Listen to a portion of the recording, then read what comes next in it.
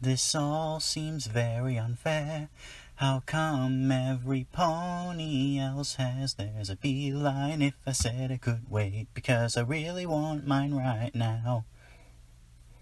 And it kinda hurts when every pony stares to look at my flank and see there's nothing there. I'm not gonna sit down and cry, but sometimes it's just too much.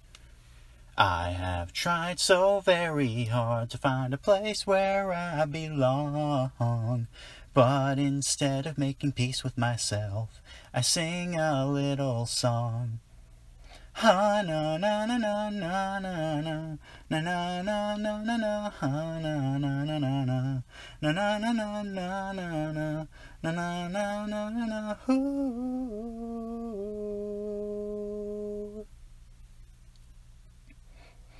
So I wake up every day hoping that no pony else will say, Hey, blank, blank, how does it feel to not be special at all?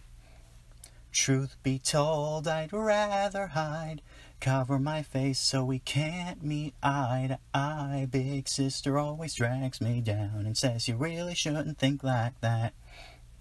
You can't rush things like this, sugar cube. A cutie mark comes with time. I know it's not something you want to hear, but how'd you think I got mine? You'll find that special talent that will make you realize why you'd rush things all before. Besides, one day it'll come and it's gonna make giggles, it's gonna make smiles, kinda big and beautiful and goes for miles. Think about it every day. But you gotta wait until then, my dear, even if it takes a year. I know where you're getting at, sister, but the thought to me is torture. Gotta find a better way to get my mark much faster so I can finally say, Oh,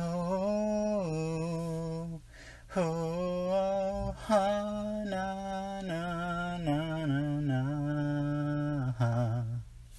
On this journey and quest of mine, I'll find a way to get it with much less time.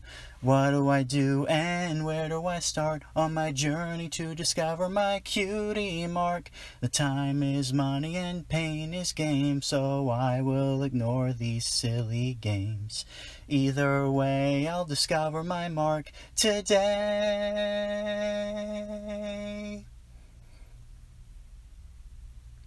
Ha na na na na na na na na na na na na na ha na na na na na na na na na na na na na na na na na hoo